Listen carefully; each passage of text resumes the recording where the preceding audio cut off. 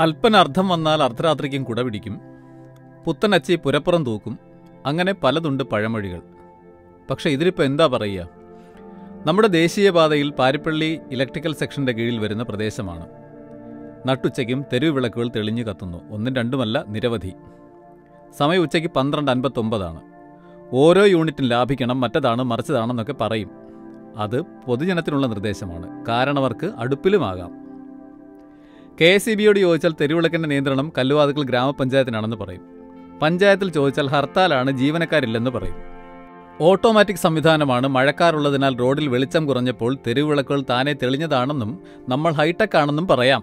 പക്ഷേ ഇതിനേക്കാളും ഇരുട്ടി അടച്ചു കിടന്നപ്പോഴും കത്താത്ത വിളക്കുകളാണ്. വെറുതെ ജനത്തിന്റെ നികുതി പണം കളയുന്ന ഏർപ്പാട് നിയന്ത്രിക്കാൻ ഇനി ആരോടാണ് പറയേണ്ടത്?